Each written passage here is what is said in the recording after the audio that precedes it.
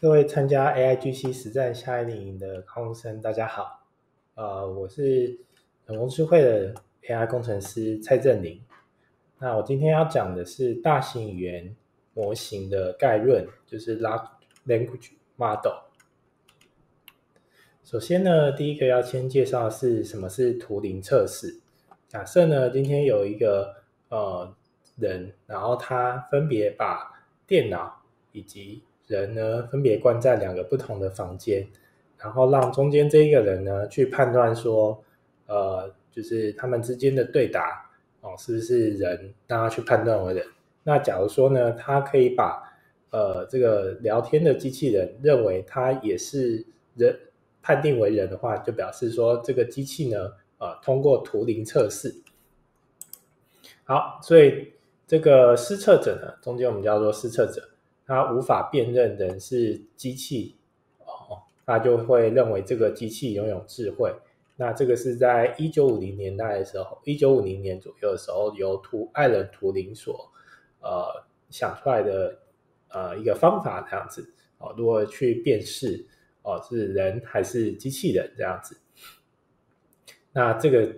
呃这个测试呢，就叫做就叫做图灵测试。好，例如说 AlphaGo 啊、Google Assistant 啊，或是 Midjourney 以及 ChatGPT 哦，都会被认为是呃拥有智慧的这个机器人啊。那在呃机器里面呢，我们有分啊强人工智慧跟弱人工智慧。那强人工智慧呢，就是它可以做一般的工作；那弱人工智慧呢，就是针对特定的工作。例如说 AlphaGo 呢，它就是只能呃，做特定的这个工作。好，那呃，下面介绍一下，就是人工智慧、机器学习跟深度学习之间的这个时间呃时间轴，然后以及说什么时候被提出来的。在一九五零年代的时候，人工智慧呢最先被提出来。那在一九八零年代的时候，提出了这个机器学习。那这个机器学习呢，就是那时候呢，大部分都是说可以拿来做。啊，邮垃圾邮件的分类就是邮件，然后它把它分类为呃一般的邮件或是垃圾邮件。那在二零一零年左右呢，deep learning 的这个词出现。那它的话呢，就是那时候是让机器呢去看这些图，然后如何去辨认哦是狗还是猫。那机器学习呢，哦，在我们把它分成大部分，把它分成三个种类，三种。那第一种的话是右上角这个监督式学习，就是透过一些标准答案，就是像大家平常话有一个考试卷，那考试的时候呢，你都会有一个标准答案，哦，那这个是监督式学习。那非监督式学习呢，就是不透过这个正确，不透过答案来学习，那它从从中间呢学出一些，找出一些啊 pattern 或是规则等等之类的。那强化学习呢？呃，只是透过长期的目标来进行学习。那机器学习呢，就是让电脑从这个资料里面呢萃取出这个决策的规则或是方法。那例如说，我们今天下面有一个模型，好，那我们资料进去之后呢，它会预测。那预测之后，预测的答案，我们就跟正确答案呢做比较。那比较说它到底误差有多少？那今天如果误差太大的话，它就回来继续呃调整模型里面的这个参数，参数调整完之后，我们再进行做预测，然后我们希望说这个预测答案可以跟正确答案越接近越好。那在大这个语言模型里面呢，我们一般呢通常都是给一段这个呃文字哦。那其实呢，我们直接给模型呢是没办法，模型是 AI 这个模型呢。AI 的语言模型呢，其实是看不懂的，所以呢，我们会把它先转成一个 token。那什么是 token 呢？token 就是说，我们今天把串字串，就是例如说，I have a pen，I have an apple，然后它总共有十个 token，哦，所以它就会根据每个字呢，哦，去这个句子呢，去辨认哪些字字呢，在哪些地方呢，要把它截断。那每个截断的一个地，截断这一个一个的。啊，每一个颜色呢就代表一个 token，那标点符号也算在里面。好，例如说 beautiful 的话就是两个 token，好，所以我们转成 token 之后呢，model 还是看不懂，所以我们会经过一个 embedding 的方式，例如说 he made an apple open opening address，然后句号，那我们就是经过一个编码零一零一的编码，我们这个叫做 encoding。那下面呢也是一样，please write down your address。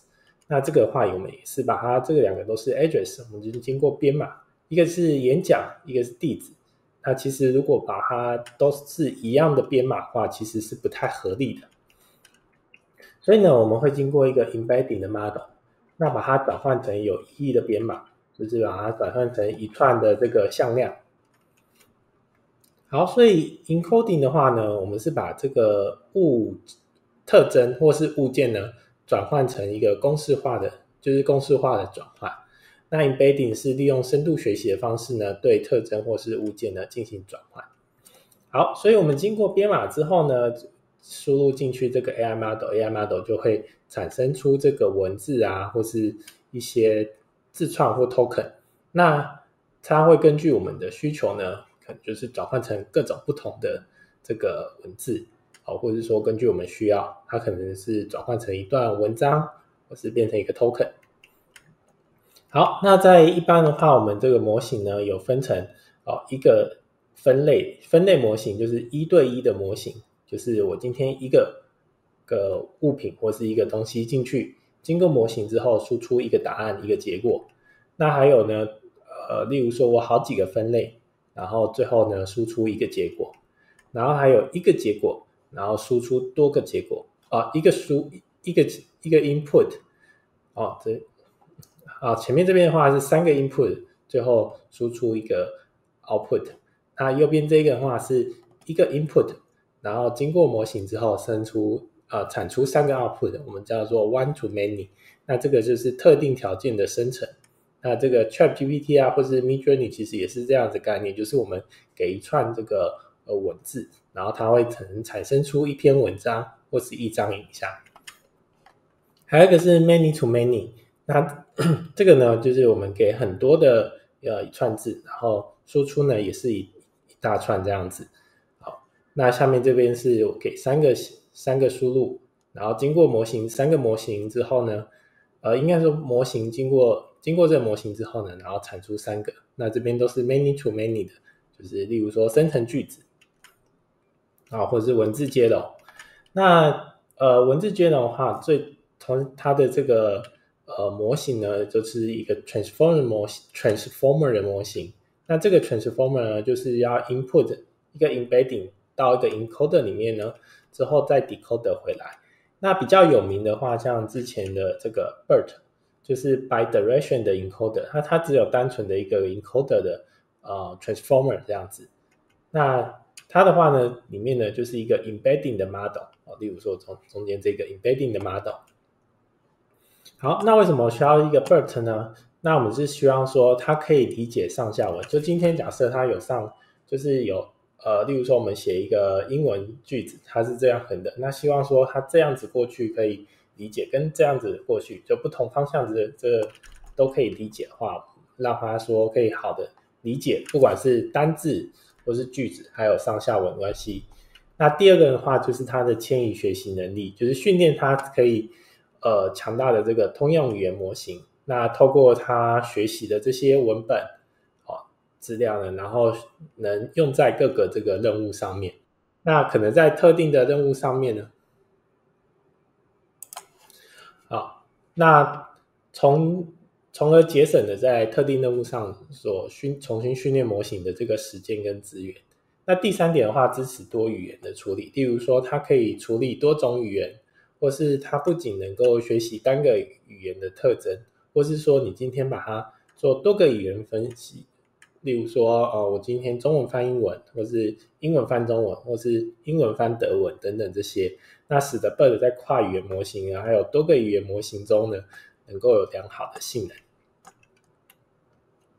好，再的话，我们介绍一下什么叫做 ChatGPT。那 Chat 的话，我们把它分。Chat 跟 GPT 我们把它分开，分成两个，一个是 Chat，Chat 的话就是一个呃，就是有一个对话式的这样子。那它的话呢，就是用来就是可以跟这个呃可以进行沟通。那 GPT 的话是 Generated Pre-trained Transform，那它是一个大型的语言模型。那它的话就是读了非常多的文本，然后就是它有一个知识的哦知识在里面。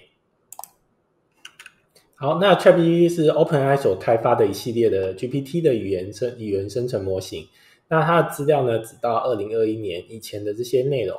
所以呢，在 OpenAI 在二零二零年的五月时候呢，哦，他们训练出了这个 GPT 三。那之后在二零二二年的时候呢，他们呃，就是把这个人的回复呢，哦，加进去，就是 ILHF，就是有人类回馈的这个。然后他们就训练出了一个 instruction 的 GPT，然后之后到了二零二二年十一月的时候呢，他们在进行的这些呃安全性的审查啊，就是说我为了这些呃，例如说我输入这些资资讯，然后它这个输出的结果呢是呃合理的啊，甚至说没有太多的偏见，然后在二零二二年的十一月的时候输出呃就是 release 的这一些公。这一些这个模型这样子，好，那 G P 三跟 G P 四其实哦，他们在资料量上面呢，其实差异的非常大。例如说，在 G P 三 token 的话，例如说它这个 Open AI 它去网络上呢，呃，爬了很多的资料哦，就是这边的话就是呃 token 数大概四九九 billion 这样子，就是一些书啊，Wikipedia 啊，还有网络上的一些资料，那总共的话大概七百四十 G 左右。那在 GPT 四的话呢，呃，OpenAI 虽然没有公开，不过它有讲说他们大概给给这个 GPT 四的这个呃模型大概有多少资料？那在 token 数的话大概是二十 TB，那在资料量的话大概是四十 TB。好，那 ChatGPT 的话就是一个呃生成的这个预训练模型，这个 GPT，那它其实是一个文字接龙机器人。那它就是根据每次，就是说你今天啊给他一个问题，那他在回答你的时候，他就会根据这个每个字的几率，哦，下一个字的几率，然后去接龙，哦，就是一个文字堆砌的这个机器人这样子。然后不管是堆砌一段句、一个句子，或是个小短文，是一篇文章这样子。好，那什么是 prompt 呢？prompt 就是我们今天 input 这个 text。然后进到这个语言模型，然后它就产生出这个 text 这样子。那这中间我们呃举例这个 Chat GPT 好了，好，我就 input 一个 prompt。那我们来举例呃 AIA 的全名是什么？它一开始就会先吐出这个台，然后之后呢，后面就是再根据这个呃几率呢最高的是，例如说台湾这个几率最高，它就会啊变成在台湾，啊后面就是台湾人工智慧学校。等等，这样子一直接龙接龙下去。好，那 Chat GPT 的这个能力范围呢？呃，把它归类大概是这三种。第一种呢是写作文案或是故事。那第二种呢是程式或是写一些测试的程式。啊，第三种呢是做角色扮演跟聊天啊，这个也是最多人在使用的这个技巧。那目前呢，Chat GPT 呢从去年的十十一月出来嘛，那十二月有人去做了这个市市场调查。到今年的三月，哦，大部分蛮多人都把它拿来做聊天，然后有的人是创作写小说，那有的人是拿来做这个，蛮多工程师是拿来做这个程式语言的，呃，不管是撰写啊，或是说把它做 debug，然后或者是说把程式语言呢进行呃改写，哦，让这个城市语言数，让这个城市呢可以跑得比较快，然后或是有效率。那有的同学呢就把它拿来做这个。做学学校作业这样子，那有的上班族呢，就把它拿来做这个文案的企划撰写，那甚至有的人是直接拿来做翻译。好，那这个是《纽约时报》呃去年呃今年所呃讲的这生成式 AI 呢渗开始渗透到我们的呃不管在工作、生活是娱乐上面，然后这边写了大概三十五个真实的案例这样。那在生活类啊、职业类或创意类非常多。那呃，大家可以哦，就这个里面呢去参考这样子。好，那 ChatGPT 其实也造成了一些呃治安上面的问题，例如说三星的一些三星的员工呢，把呃就是公司内的这个资料呢喂给了 ChatGPT，然后变成这个 ChatGPT 的呃训练的资料的来源这样子。那这个是呃资料造成说他们的这个公司内部的啊不得外泄的资料，然后结果外泄出去了这样。那在日本的话呢，当地的话其实有呃去讨论说，哎，那个 ChatGPT 可以用在的这个呃范围这样子。他们呢其实是在，他们其实是有稍微就是修，就是把呃这个 ChatGPT 呢去做，就是也有好，他们就是把 ChatGPT 呢就是定定了一些规范。啊，在某些情况下呢是可以使用的，在某些情况下呢是不得使用的。啊，例如说这个民众的一些呃隐私啊或什么，这个就是隐私的这些资料就是不能不能上到不能丢到这个 ChatGPT。那如果是一些呃，例如说文件摘要、翻译，还有制作这个会议记录等等这些，或者是说他要拟草案等等这些，就是法条草案啊，哇这些的话就可以使用 ChatGPT 这样子。好，那在意大利政府呢，其实一开始在这个就直接明令禁止，就是所有的公务员使用这个 ChatGPT。好，那例如说在 Apple 啊，或是高盛啊等等这些，他们其实呃，三星这些，他们就是禁禁止他们的员工使用这个 ChatGPT。好，那呃，我就有。就有这个人去问这个访问这个 Tim Cook 这样子，他问他说：“哎，你们有没有你有没有使用 ChatGPT？” 那 Tim Cook 就说他要使用 ChatGPT。那他也他们这个 Apple 里面的员工也会去关注说这个 ChatGPT 的一个发展这样子。好，那这边一个小小的总结就是 ChatGPT 呢可以呃自然的啊，它是自然语言的一个生成，那可以帮助。大家做一些啊翻译，然后或是文本摘要，还有语言这个理解等多个任务表出色，任务表现，那表现上就是蛮出色的这样子。对，那或者说透过大量的文本资料进行自我学习，那学习的语言就是它有统计的特征，还有语义的关系。那本质呢都是一个文字接龙问题。这个文字接龙问题，就是说，例如说大家都是下一样的 prompt，那可是每个人的呃，得到的结果是不一样的，因为每一次这个呃机器就是会去算这个每个字的几率，那这个字的几率可能中间几个字的这个几率呢，较跟其他人可能不一样的时候，它其实跑出来的这个不管是句子或是短文文章等等，其实都会不一样。所以